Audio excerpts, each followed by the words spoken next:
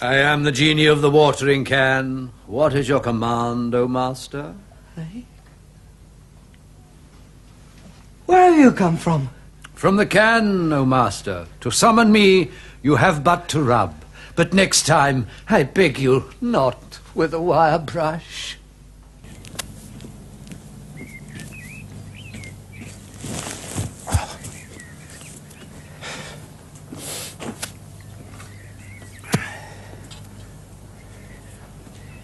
Can I help you?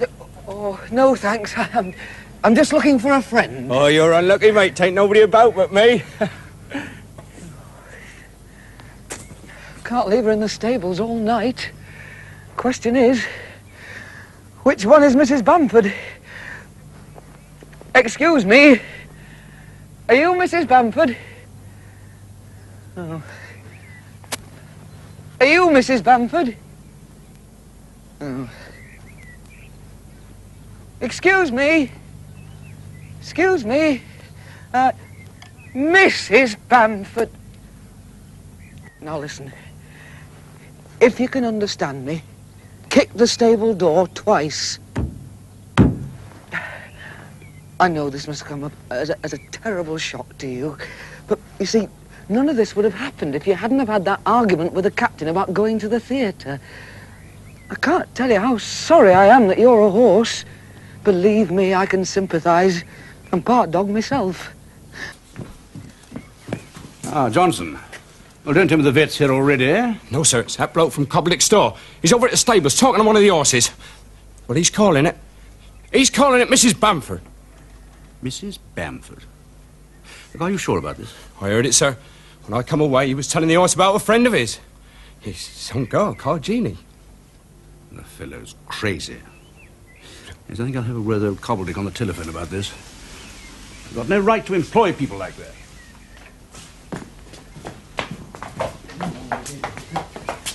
Now, now you know where you are, don't you? Whoa.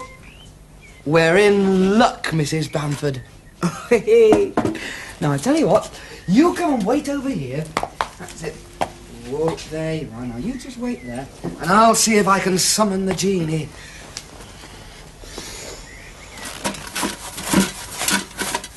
Go away! This can belongs to my master, the captain. I will appear for no one but him. Genie, you've got to help us. Genie, come out of there. Genie, please.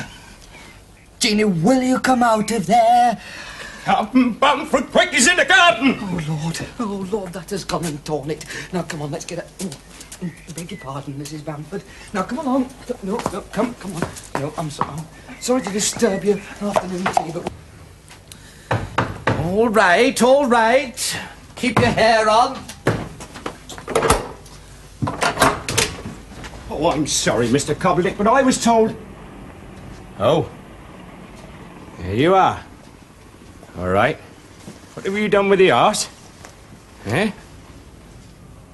All right, mate. That's the way you want it. I have the captain's instructions to report the matter to the proper authorities. Oh, and he shan't this back. One thing leaks like a sieve. Hold on. There's his money back. Now then. This watering can no longer belongs to Captain Bamford. Right? Right.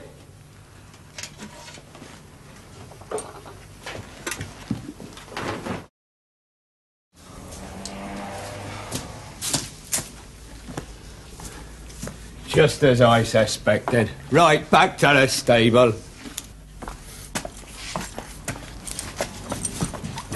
Come on, old girl, get up.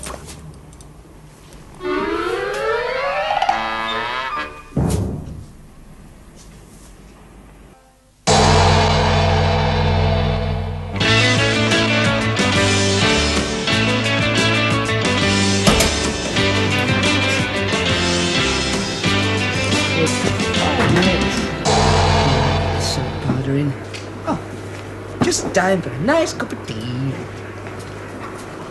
I, I don't care if your acid drops are covered in fluff. You cannot put them in there with my socks! Yeah, no, you don't, Dad. Captain Bamford's groom, right? That's what I'm supposed to be. Trouble is, I paint. Captain's busy, so he's asked me to look after his little niece and nephew. And let me tell you, I'd rather be kicked in the head by a team of wild horses. Hey, hey. Oh. Now look what you've done. You've got fur all over your ice cream. It'll cost me at least three pounds to have this coat cleaned. Look, I've already said I'll pay. The trouble is, I've only got a pound on me. Look, I'll ask my friend if he'll lend me. Oh, oh, thank you very much. Oh, very nice of you, mate. Oh, thank you. Don't forget your soap powder. Thanks, Miss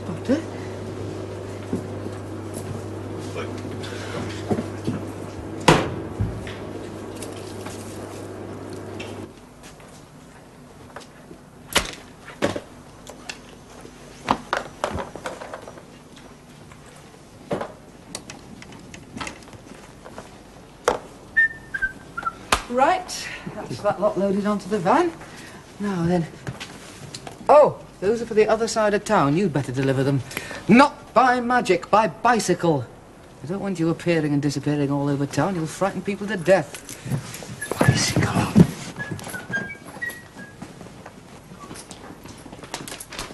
You're coming in whether you like it or not.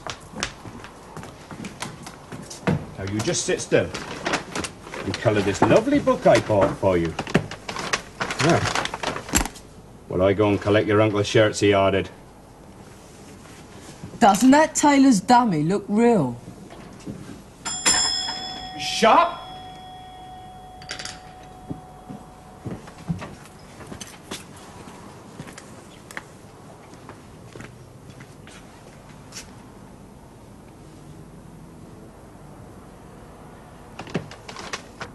Hey, here's a wig. Stick this on it.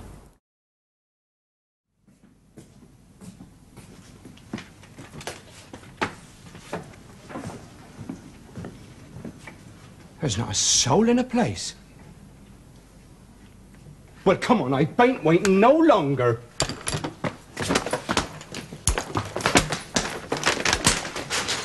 Oh, well, oh, that's most kind of you.